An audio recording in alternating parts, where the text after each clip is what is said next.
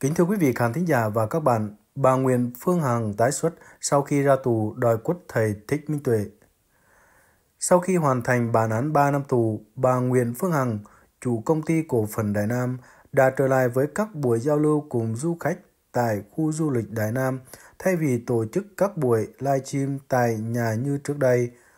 Trong những lần xuất hiện này, bà không chỉ kể về khoảng thời gian trong tù mà còn khiến dư luận chú ý khi nhắc đến ông thầy Thích Minh Tuệ, một nhà sư đang được nhiều người tôn kính. Bà Hằng khẳng định mình sẽ bóc trần sự thật về thầy Thích Minh Tuệ và hứa sẽ làm rõ mọi chuyện liên quan đến ông.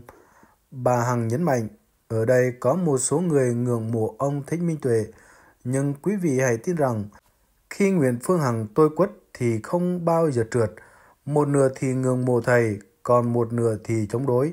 Tôi sẽ chứng minh ông ta đúng chỗ nào sai chỗ nào. Điều khiến cho dư luận không khỏi đặt câu hỏi là tại sao trong khi bà Hằng đã ở tù suốt 3 năm, bà lại biết nhiều về thầy Minh Tuệ đến vậy.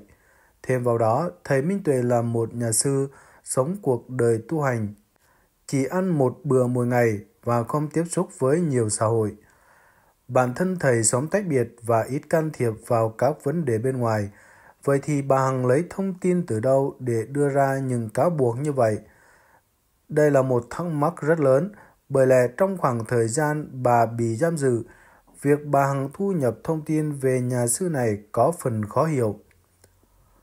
Không chỉ dừng lại ở đó, bà Hằng còn bàn luận về chuyện tu hành của một số nhà sư khác, cho rằng chị em phụ nữ dễ mù quáng lắm. Tôi nói câu này ra nhiều người sẽ không thích tôi, đa phần Phật tử là phụ nữ. Nhưng vấn đề nhạy cảm tôi sẽ nói ra vì bản thân tôi đã trải qua rồi. Chính tôi cũng đã từng bị các thầy tu thả thính tùm lum. Chúng ta nên thường tưởng tổ tiên, cha mẹ mình, quê hương đất nước mình. Còn những người tu hành, họ tu cho bản thân họ chứ không phải tu cho mình. Bên cạnh những phát ngôn gây tranh cãi, bà Hằng cùng vướng phải lùm xùm về vấn đề bản quyền âm nhạc. Trong một đoạn live stream ngắn, bà Hằng thú nhận về việc chế lời bài hát Đoạn buồn đêm mưa của tác giả Tú Nhi và Vinh Sử mà không biết về quyền tác giả. Bà đã vô tư chế lời thành các phiên bản như T30 và tôi và Mưa An Phước trong lúc ngồi trong tù. Trước những ý kiến về việc bà Hằng có thể vi phạm bản quyền âm nhạc, bà Hằng cho rằng mình không hề biết về việc vấn đề liên quan này. Bà cũng bày tỏ sự tin tưởng rằng danh ca Chế Linh, một người mà bà gọi là có nhân cách, sẽ không kiểm cáo về vấn đề này. Mọi người khuyến cáo chú Chế Linh thưa kiện cháu, nhưng cháu vẫn tin chú sẽ không bao giờ làm điều đó.